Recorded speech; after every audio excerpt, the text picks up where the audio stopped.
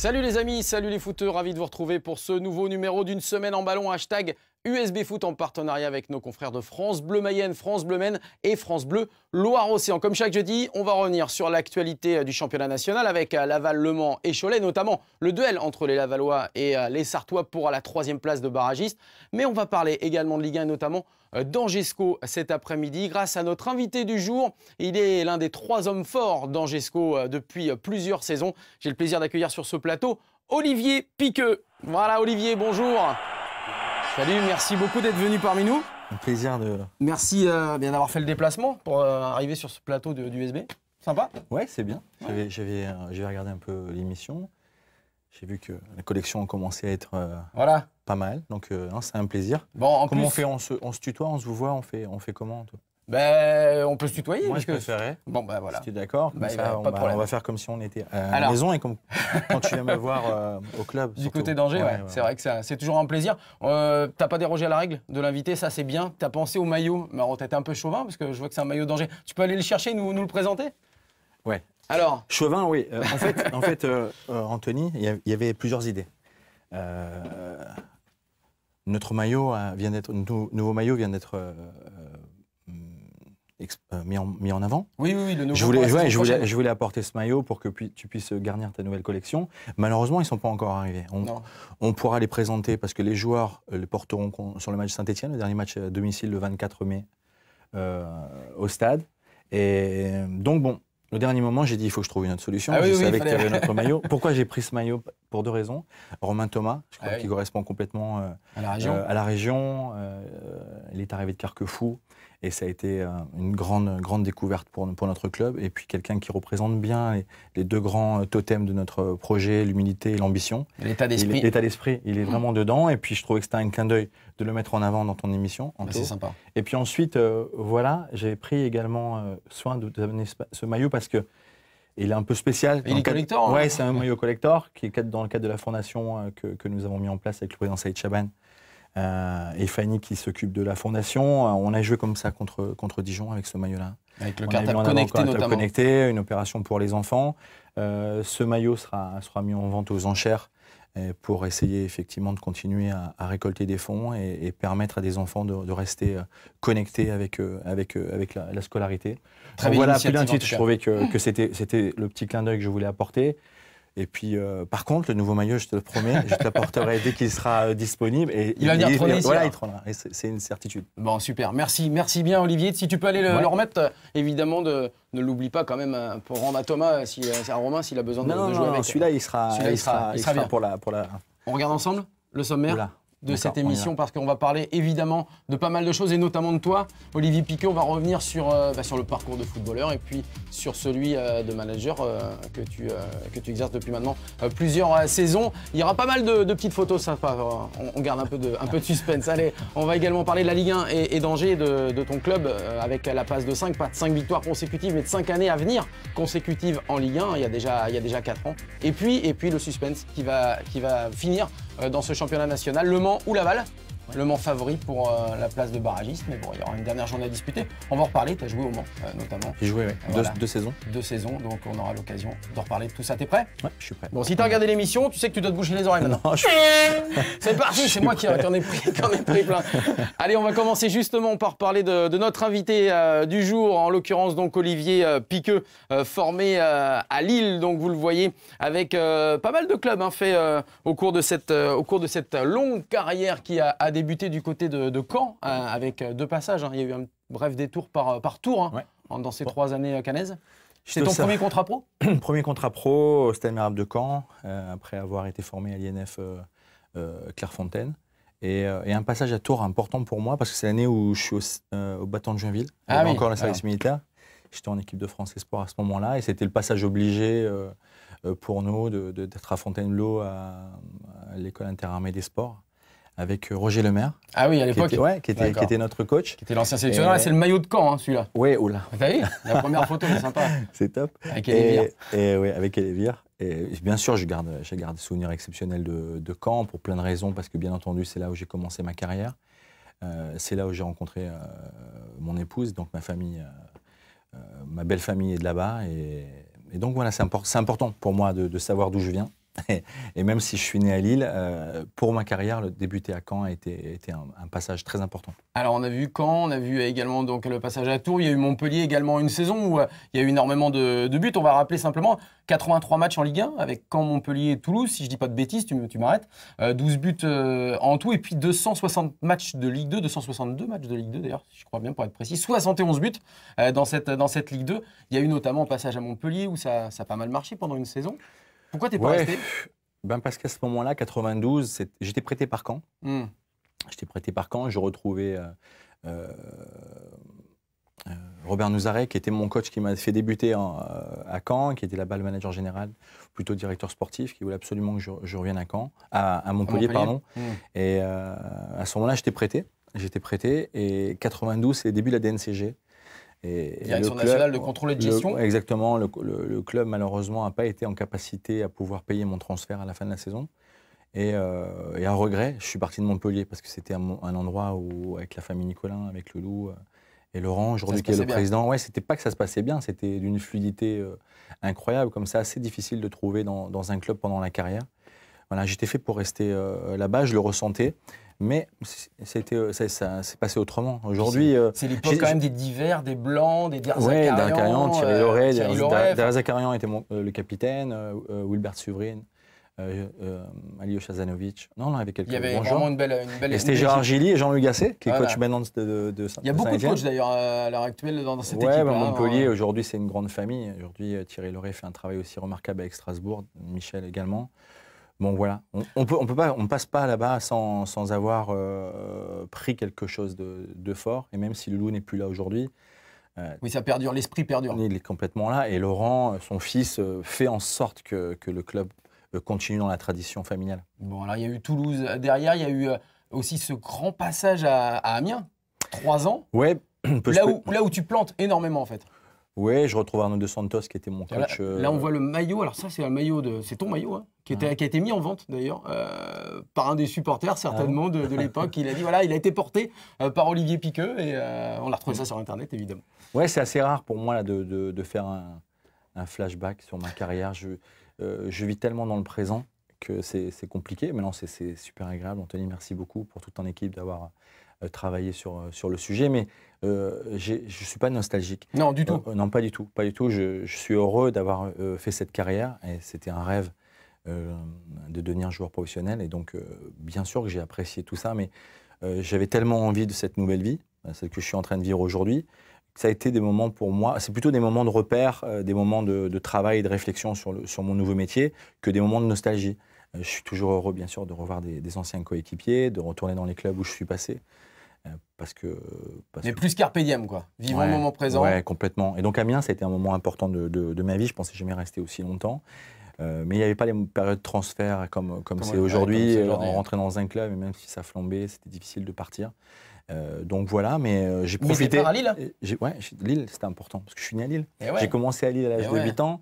Et je suis parti, j'avais 16 ans et c'était un passage obligé dans ma carrière de revenir chez moi. Et Joli l'équilibre. Ouais, pas mal. Je faisais des buts, je marquais des buts comme ça. Eh oui, mais t'es gaucher ou je suis droitier. Ah ouais, quand même, parce que là, quand même, t'as armé pied gauche. J'aurais dû renégocier mon contrat parce que je savais même pas que j'avais un pied gauche. quand même. tu vois, un an, non, un an à Lille et puis, et puis avant, c'est arrivé pour deux saisons euh, au Mans. On va, on va le voir également avec, euh, euh, je crois que c'est un duel face à, face à l'un des frères Sigan. Je me demande si c'est pas. Ah oui, c'était Pascal. J'ai joué avec lui à Lille, oui. Hein j'ai joué, avec lui. Euh, Thierry Sigan a été euh, du côté d'Angers d'ailleurs. Thierry, Thierry euh, était un joueur important du début du projet de l'aventure Angevine parce qu'il était le capitaine de de, de, la première saison en national quand je suis arrivé en 2006.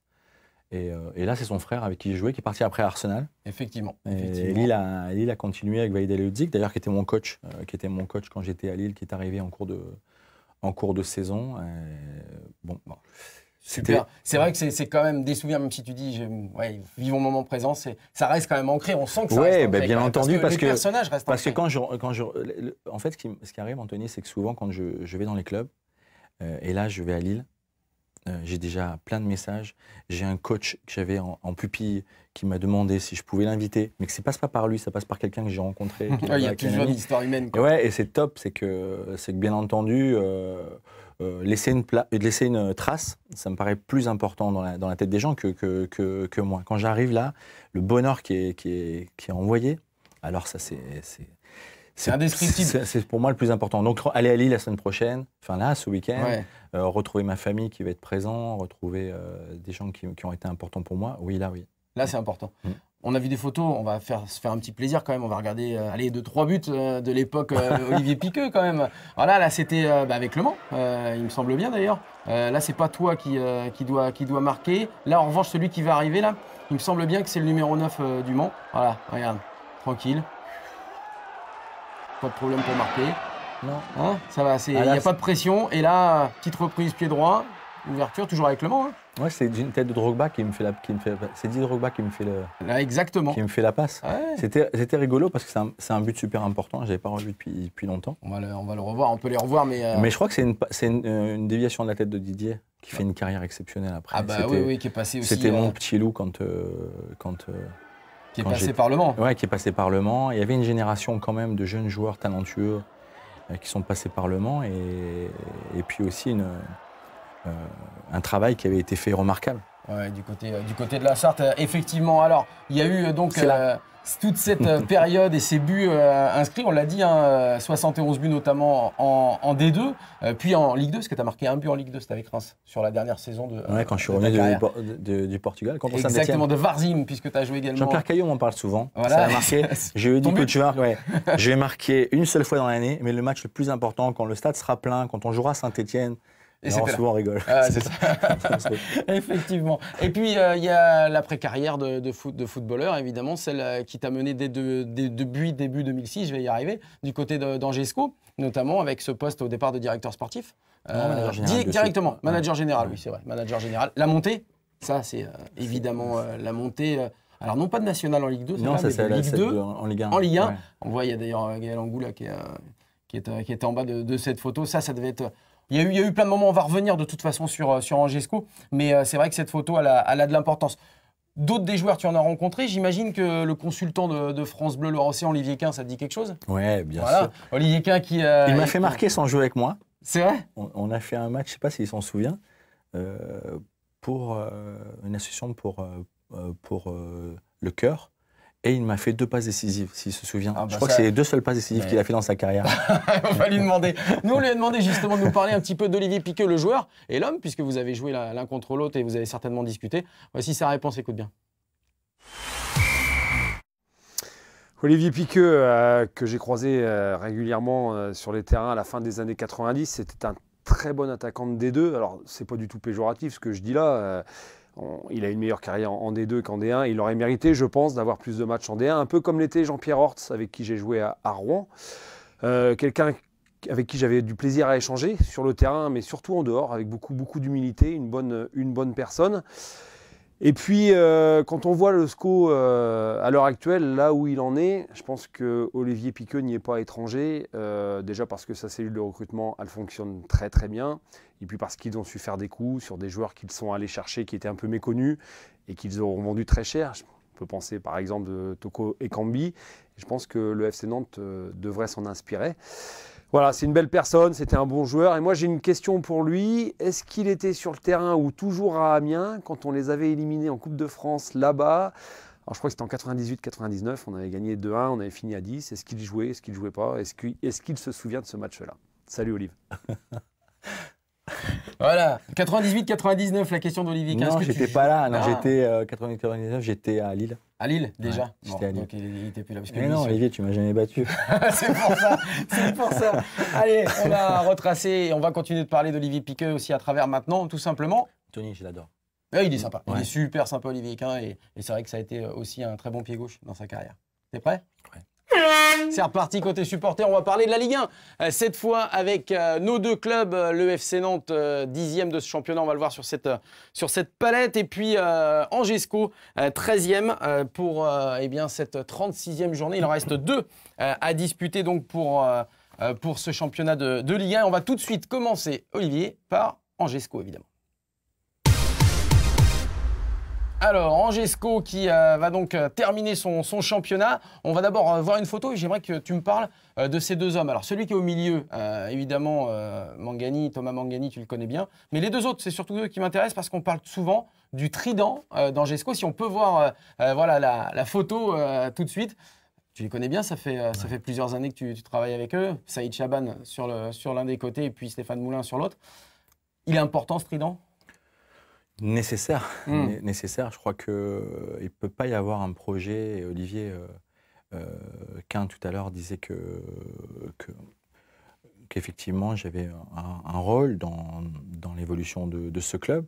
Euh, il y a, une, il y a deux, étapes. La première étape avec le président Willy Bernard et la deuxième avec le président Saïd Chaban qui a, qui a repris de façon judicieuse au bon moment le club et, et, permet de le faire grandir dans, dans, ses, dans sa structure dans ses finances et, en même temps en, continuant à garder les hommes. Et je trouve que euh, il ne peut pas y avoir de projet euh, fort sans un président qui, qui soit en capacité à, fédérer et, et, amener un projet avec des hommes. Alors bien entendu, euh, quand nous avons commencé l'aventure en 2012, je lui ai demandé de garder Stéphane Moulin parce que Stéphane était là depuis euh, le début de, mon, aventure en, 2006.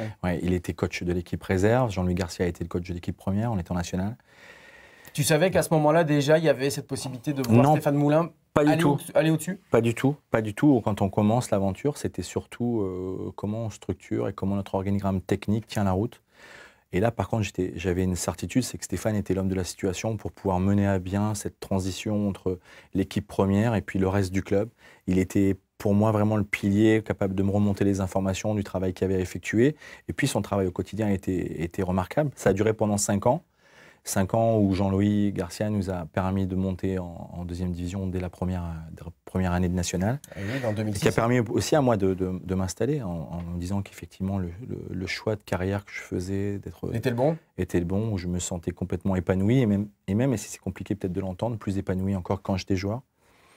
Euh, voilà, Stéphane a continué à progresser. Le moment difficile que nous avons passé avec la parole d'administrateur judiciaire et la transition entre le départ de Willy Bernard et l'arrivée de Saïd Chaban, c'était un moment très compliqué pour, pour la vie du club, mais très solide en même temps, parce qu'on se, on se rend bien compte de la qualité des hommes à ce moment-là, quand c'est dur. Aujourd'hui, aujourd'hui, aujourd'hui, c'est la, c'est la kermesse, j'ai envie de dire. Tout va bien pour le club, tout, va bien, tout est bon, nos résultats mais sont tout va bons. bien aussi parce que Saïd Chaban, comme tu le disais, fédère, mais aussi ne gère pas le sportif. Il le laisse. Non, il, euh, il, laisse une grande liberté. Euh, il me laisse une grande liberté de travail. Aujourd'hui, sur les choix des hommes et des joueurs, euh, euh, la validation se fait avec Stéphane Moulin. Et bien sûr la cellule de recrutement et puis, et puis le, staff, mais le président est là pour donner la dernière touche, euh, comprendre l'homme, pourquoi il vient, quel projet on a avec lui, euh, qu'est-ce qu'on imagine comme plan de carrière, et il vient valider tout ça. Quand nous sommes tous alignés, le président, euh, Stéphane et moi, alors le joueur peut venir. Si on se trompe, on va se tromper ensemble. Mais euh, l'idée, c'est pas de se tromper, c'est de, de, réussir et mettre tous les ingrédients pour que ça fonctionne. Donc pour revenir et finir pour Stéphane, c'est que cette période difficile de transition, il fallait un homme capable de comprendre le club et d'avoir la, la, carrure pour pouvoir amener euh, notre projet encore au-dessus. Et j'ai demandé à Saïd Chaban de, de conserver Stéphane Moulin. Et c'est ce qui s'est passé. ce qui s'est passé. Il a, il a eu cette confiance à ce moment-là qui était très importante à mes yeux. Et, Stéphane a pris, euh, a pris cette opportunité en repassant son diplôme, en associant bien sûr Serge Le Disait qui est arrivé, un ancien Nantais, petit clin d'œil, mais qui est arrivé lui avec ses diplômes. À ce moment-là, on pouvait avoir euh, un prête-nom et Stéphane est allé avec beaucoup de courage repasser euh, son, son, son, DPF il a eu brillamment, et puis, euh, et puis voilà, et l'aventure continue, trois ans, après. Ouais. 8 ans, toi Huit ans. Euh, huit ans maintenant de, collaboration. On parlait de projet, on va regarder aussi euh, une autre image d'Angesco. Et, quelle image, hein, celle du stade? Raymond Coppa, ancien stade Jean Bouin devenu Raymond Coppa, qui a connu énormément de bouleversements depuis quelques années, qui va en connaître d'autres dans les prochains mois puisque la dernière, on va dire, opération immobilière, c'est la, nouvelle tribune qui, va, qui va voir le jour. 18 mois de travaux à peu près? Oui, c'est une période. Euh, on, a, on, a, connu ça déjà avec la tribune derrière le but, euh, où c'était neuf mois de travaux. C'était déjà rapide, mais, euh, mais compliqué parce qu'on est en Ligue 1. Hein. il faut assumer nos résultats et, l'accueil de notre, de notre public. Et puis maintenant, cette deuxième tranche qui est, magnifique, qui va amener la, jauge du stade à 20 000 et, renforcer le confort de, nos supporters. Donc, avec impatience, j'ai envie de, voir le projet commencer terminer, évidemment. Mais voilà, c'est un travail qui a été fait euh, et suivi par le président. Et, je trouve que pour le, club que, nous sommes, aujourd'hui, il faut rappeler, on a le 19e budget, c'est des investissements qui sont importants. Euh, en même temps que, cette aventure qu'on doit vivre rester en, Ligue 1 de nombreuses années. Euh, c'est prendre des risques. C'est prendre, des, risques. Alors, tu, parlais du 19e budget. Il y a aussi euh, peut-être cette petite anicroche. Non, on parle d'Angers à chaque fois, tout le temps bien, euh, le trident, les, les, les, événements sportifs qui se passent bien. Est-ce que le fait d'être la 19e affluence de Ligue 1, est-ce que pour toi, c'est justement ce qu'il faut vraiment aller chercher avec ce nouveau stade? Ah, Là, je suis complètement. C'est aussi pour ça qu'on travaille l'outil. On ne peut pas imaginer que notre stade soit aux normes Ligue 1, confort, euh, et puis euh, avoir des poteaux face, face au terrain pour nos supporters. Des fois, j'ai mal, j'ai mal à la tête quand je, quand je les vois comme ça, ou j'imagine comment c'est compliqué pour eux de venir voir un match avec, euh, avec beaucoup de, confort qui est nécessaire. Aujourd'hui, on est en Ligue 1, on doit être en capacité aussi à répondre, à proposer autre chose, hmm. parce que les clubs de Ligue 1 que nous rencontrons ont tous des stades neufs. Aujourd'hui, c'est top, hein. on va faire un stade vieux, on va en faire un stade neuf. Euh, je n'ai pas dit que j'aurais pas préféré un stade flambant neuf comme 80% des clubs euh, en Ligue 1. Ça a été la rénovation. C'est la rénovation. Par contre, c'est notre histoire. C'est l'aventure du SCO d'Angers. C'est toujours un petit peu difficile. C'est toujours un peu contraignant, un peu pénible soit on est capable de comprendre ça et on, arrive à avancer et trouver même des solutions. Et, donc ces 18 mois de travaux, j'ai plutôt envie de dire top. Et demain, ça va euh, permettre aux gens et, à notre public d'être heureux de, venir nous accompagner. Et en même temps, attention, parce que, parce que cette période-là va être difficile pour continuer à avoir des résultats. Et alors qu'il va falloir, et on arrêtera là-dessus euh, sur, sur le stade, mais il va falloir des résultats encore au moins un an pour être, on va dire, assez serein financièrement déjà et ne plus peut-être être obligé de vendre tous les joueurs que vous avez été obligé de vendre par le passé une étape nécessaire. Vous savez, il y avait, euh, tu sais, pardon, euh, quand on a commencé l'aventure avec le président Saïd Chaban, euh, le premier objectif, c'était de monter en Ligue 1. On s'était fixé un projet de 5 ans pour monter. On a eu la chance de monter au bout de 3 ans. après ça, il fallait remettre en place les grandes lignes. Et les grandes lignes, c'était, Olivier, il faut absolument que nous restons pendant 5 ans en Ligue 1 pour permettre euh, au droit télé d'augmenter, et pas simplement euh, grâce au nouveau droit qui arrive 2020 à 2024, mais que tout le monde bénéficiera, mais aussi parce que le club, pendant 35 ans, n'a pas été en Ligue 1, à part une année en, 92-93, bénéficiait pas des, droits de notoriété. Et donc, il fallait tirer sur les bras voilà. Alors pour essayer de venir compenser. On va les avoir, donc ça, nous les aurons, on les aura. Si, et maintenant, bien entendu, j'ai envie de dire que c'est l'année la plus importante, cette cinquième année. C'est d'aller dans la sixième. On dit que le projet, c'est 5 ans, mais 5 ans révolus voilà, pour pouvoir il faut encore une saison pour franchir un autre palier, pour franchir un autre palier du club, c'est-à-dire euh, développer nos infrastructures, développer nos moyens et notre budget.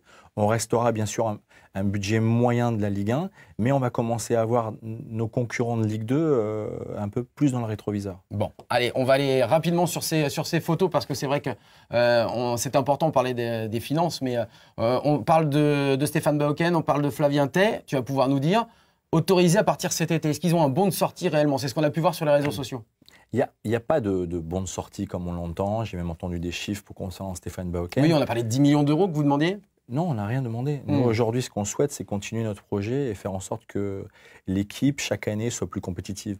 Ce sont des joueurs, Flavien T, qui travaillent maintenant depuis trois ans avec nous, qui fait que progresser.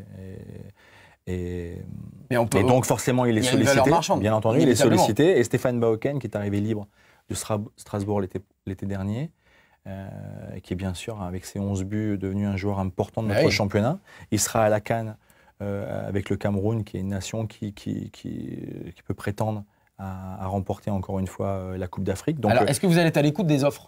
On sera à l'écoute des offres. L'histoire de notre club, c'est de, continuer à promouvoir des joueurs et, de leur permettre de progresser et de leur permettre de franchir un palier tant que notre club n'est pas encore en capacité à pouvoir les retenir. Et c'est là où je, te rejoins tout à l'heure pour dire est-ce qu'on aura plus d'argent pour les rejoindre? Je ne suis pas sûr. On va pouvoir faire des propositions financières euh, plus importantes pour leur contrat, mais de toute façon, euh, Angesco, malheureusement. Reste Angesco. Reste Angesco. Et quand un joueur est sollicité pour jouer la Ligue de Champions euh, ou, une Coupe européenne, euh, bien entendu, on, a le devoir de les accompagner et, et ça doit nous permettre de récupérer d'autres joueurs plus difficile pour le coach à recommencer l'aventure, à recommencer presque à zéro et de faire euh, connaître ces joueurs qui n'ont pas réussi avant. Mais encore une fois, Reconstruction, reconstruction. permanente. Un autre joueur que tu connais très bien, qui a été énormissime cette saison à Lille, c'est Nicolas Pépé. c'est plus de 20 buts, c'est plus de 10 passes dans la saison. Il a fait un, une saison de, folie. Alors, pareil, on estime à, 80 millions d'euros euh, peut-être son départ, parce que lui, il a dit il allait partir de, Lille, ça c'était une certitude. D'abord, je voudrais juste éclaircir quelque chose, parce qu'on va pouvoir le voir aussi euh, sous le maillot d'Angers. Hein. Il, a été, il a été quand même, il a joué en, Ligue 2 avec, euh, en Ligue 1 avec vous, pardon. Est-ce que vous, vous allez pouvoir récupérer un peu d'argent dessus? Parce qu'on parle toujours de cette indemnité de formation, mais moins de 23 ans, où il faut qu'il parte à l'étranger. Éclaircis-nous un petit peu la situation. On a gardé un bonus de 10% sur la plus-value, donc c'était important. Euh, et puis ensuite, pour ce qui est de la, des invités de formation, c'est lié simplement s'il part euh, à l'étranger, hein, jusque ses 23 ans. Voilà, ce qui donc ça veut dire que s'il part à Paris, par exemple, est-ce que vous, vous allez toucher les 10% de, la, de revente? Bien sûr. Mais par contre, pas les indemnités de formation Pas encore. D'accord, ok. Donc, euh, ce, qui, ce, qui, est important, Anthony, là-dedans, c'est de voir qu'un joueur formé chez nous, aussi talentueux, que, peut être Nico Pépé continue à, promouvoir notre club. Parce qu'aujourd'hui c'est porte-étendard pour notre formation, pour le travail qui a été fait euh, depuis six ans par, par euh, le centre de formation et le directeur du centre, euh, Abdel Boisama.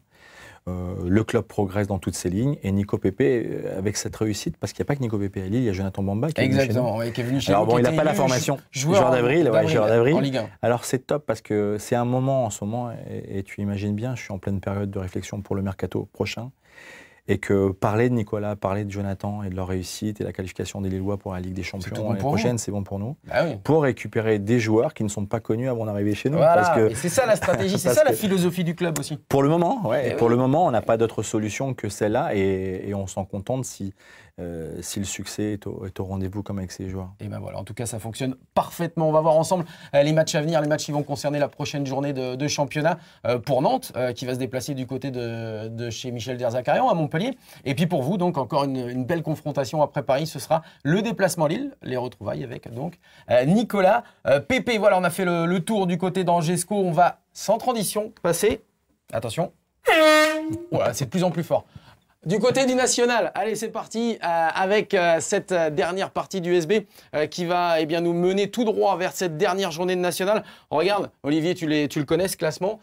troisième Le Mans avec 56 points, quatrième Laval avec 54 points et puis Cholet septième qui n'est plus à la lutte hein, pour, pour cette troisième place de barragiste. On va commencer par parler tout de suite du Mans.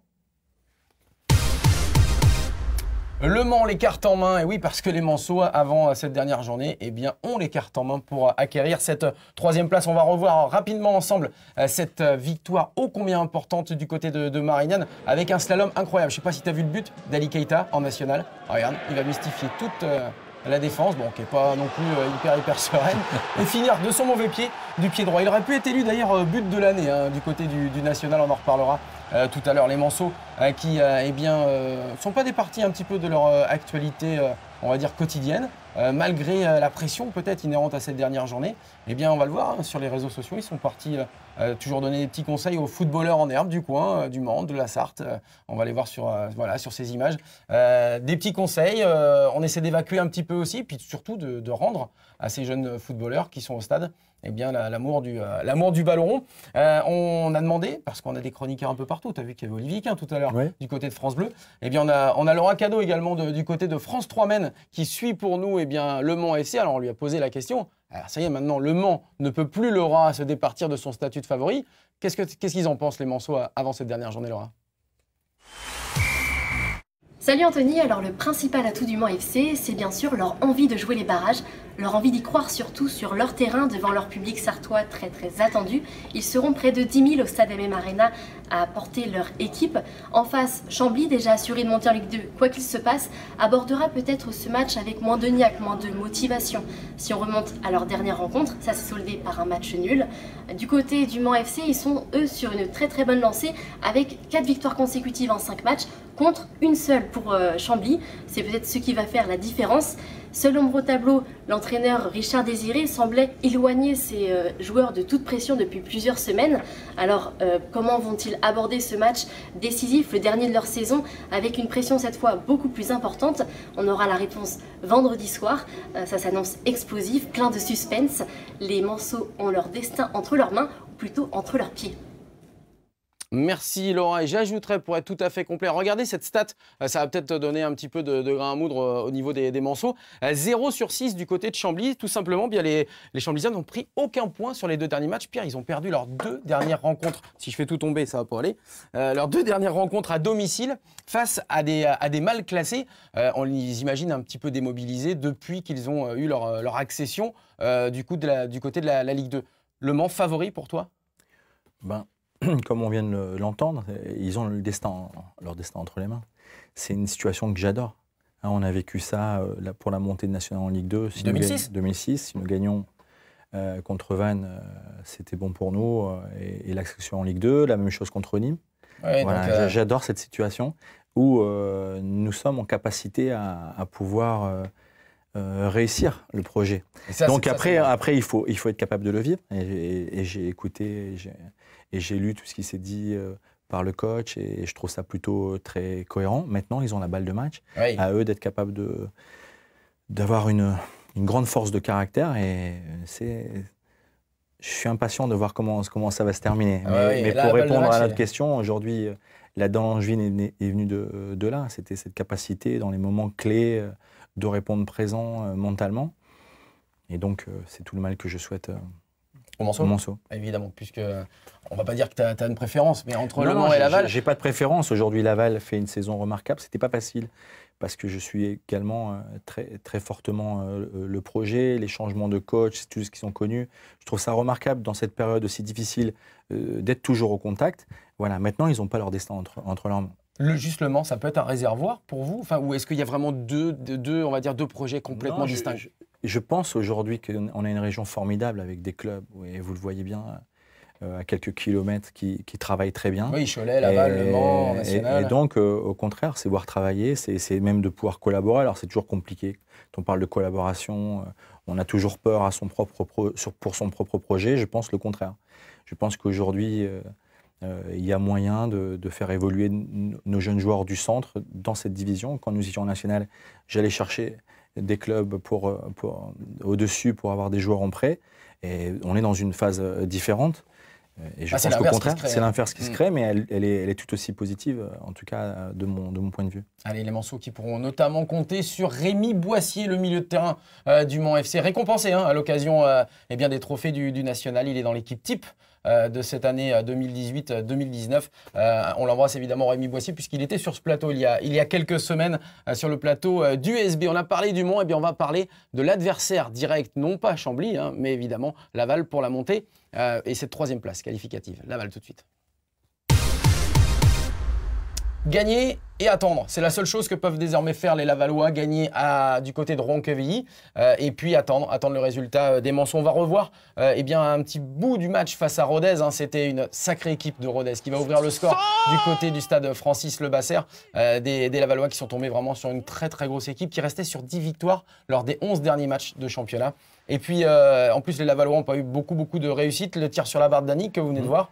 Il y a eu une mésentente dont a profité Gabriel Etinoff, euh, qui s'échappe et qui arrive à glisser le ballon à Bridge Ndilu, qui euh, était rentré en cours de jeu un partout. Et puis, les Lavallois vont pousser, pousser pour obtenir enfin cette, cette victoire. Il va y avoir cette superbe ouverture d'Etinoff. Le petit lob de Bridge Ndilu qui va rebondir sur la barre transversale. Ça veut pas sourire pour les Lavallois. Et puis derrière, la frappe de Madi Camara qui va être repoussée sur la ligne voilà, les Lavallois qui vont donc se contenter d'un match nul et qui vont du coup eh bien, être outsiders pour euh, cette troisième place de barragistes. On va écouter euh, ensemble euh, bien Pascal Bro, l'entraîneur du Stade Lavallois, mais également Anthony Robic. C'était juste après la fin de ce match et la déception évidemment qui allait avec.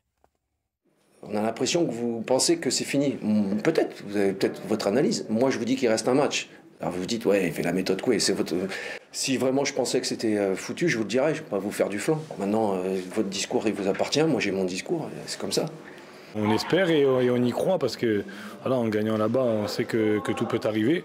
On va tout faire pour, ça c'est sûr et certain. Euh, mais voilà, comme je l'ai dit, on n'est plus maître de notre destin, donc ça dépendra pas que de notre résultat.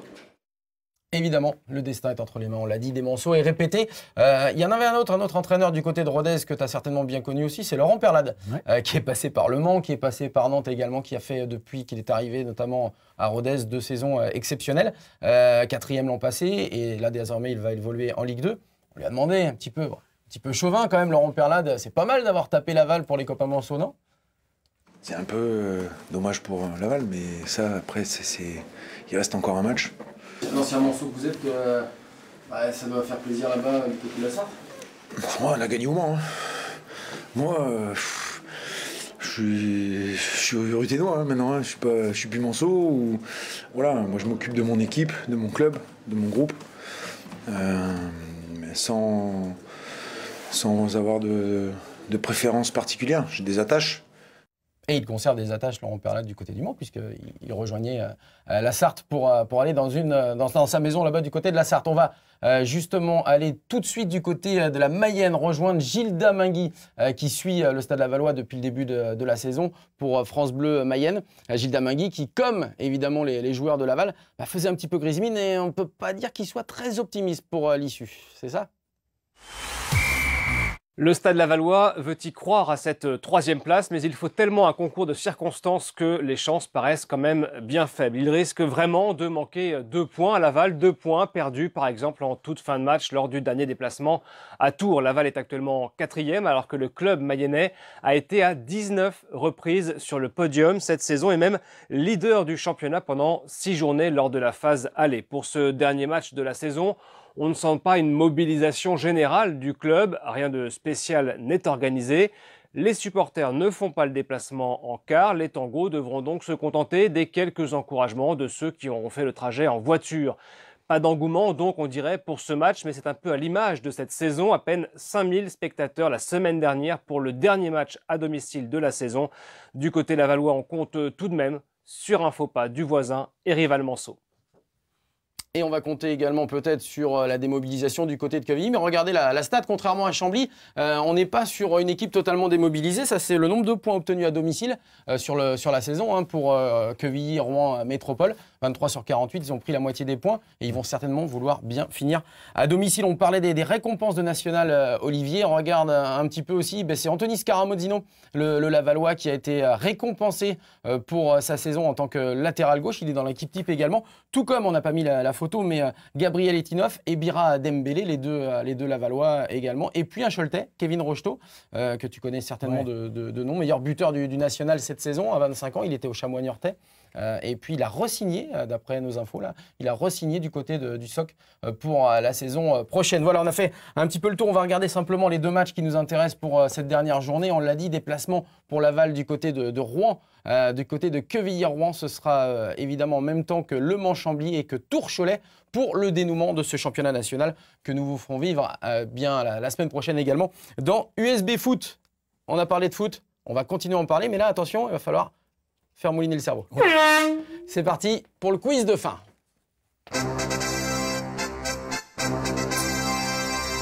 Allez, c'est le moment marrant avec euh, les photos qu'on a pu voir d'Olivier Piqueux dans les années euh, 90. et, euh, et- il y en avait plusieurs. On n'a pas, on n'a pas tout, euh, tout mis, mais euh, on, va, on va te faire une petite compile, ça sera, ça sera sympa.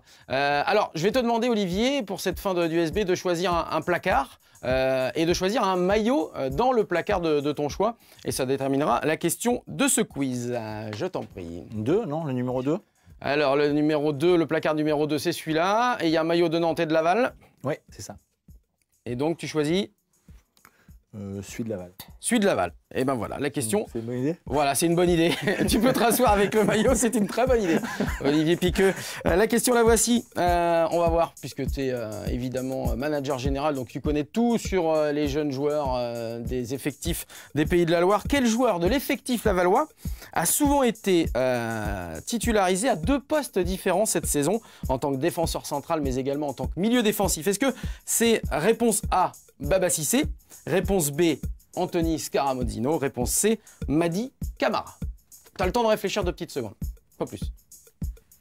Réponse A, Baba Cissé. Réponse B, Anthony Scaramozino. Qui regarde le maillot, celui d'Anthony Scaramozino. Réponse C, Madi Camara. J'ai pas dit qu'il y avait, euh, il y avait Il n'y a un pas, il y a petit pas ad. un- D'accord. Non, il n'est pas spécial. Euh, non, ça peut être euh, la réponse C.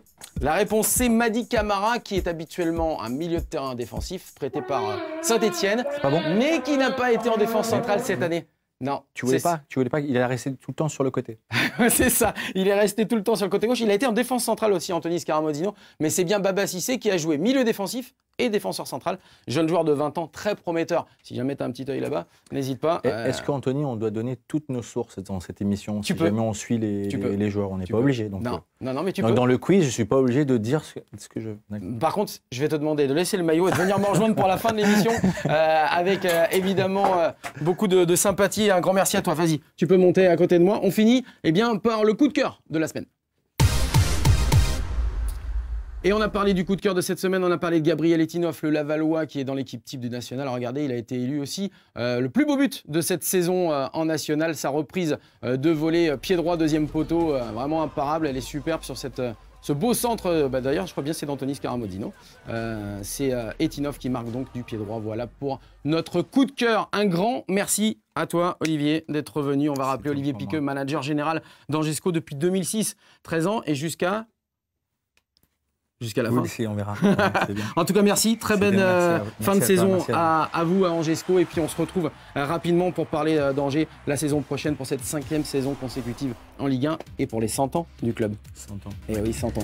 Bravo. Un petit dernier match, mot? ouais, match contre Saint-Etienne. Oui. On fait un truc pour nos supporters. 10 euros pour le match. Venez vivre un moment incroyable pour fêter cette saison et, Et cette belle et- fin de et saison. cette belle fin de saison. Et on, on a prévu des surprises et vivre un grand moment. On a envie de récompenser euh, bien sûr les joueurs et le staff sur ce, sur ce travail et puis euh, faire un grand plaisir à nos supporters et à notre public. Voilà. Donc voilà, Le 10 message, euros, c'est top. On va passer un grand moment, le message est passé. Merci, Olivier Piqueux. Et très belle fin de Merci, saison à vous. Merci, merci. Attention, pas tomber.